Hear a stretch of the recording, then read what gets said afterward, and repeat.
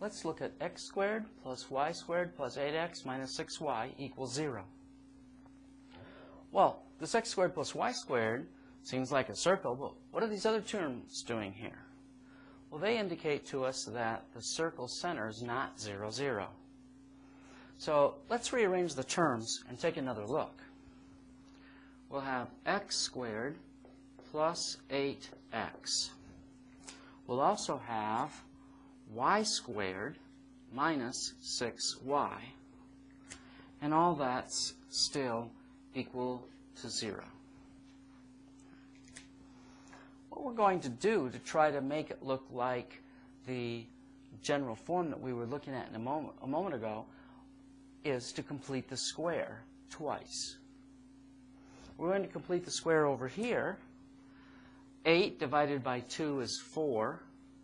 4 squared is 16. So we'll have to add 16 to both sides to complete that square.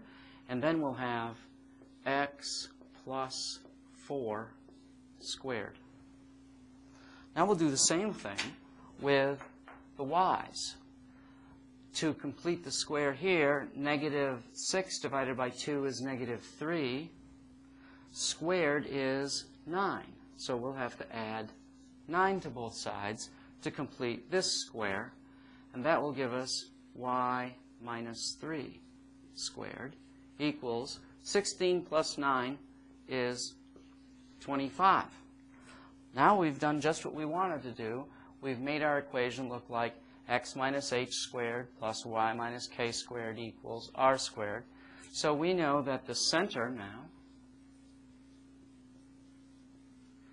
is equal to negative 4, positive 3.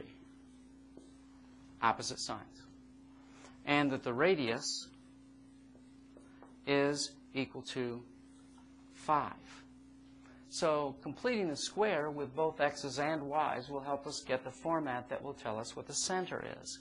And once we know the center and the radius, we could go ahead and find some points that would help us get a sketch of our circle. For instance, if we go to negative 4, 1, 2, 3, 4, 1, 2, 3, that's the center of the circle. So where is the circle? Well, it's 5 down from there. 1, 2, 3, 4, 5. It's 5 to the right of there. 1, 2, 1, 2, 3, 4, 5. It's 5 above there. 1, 2, 3, 4, 5. And it's 5 to the left of there. 1, 2, 3, 4, 5.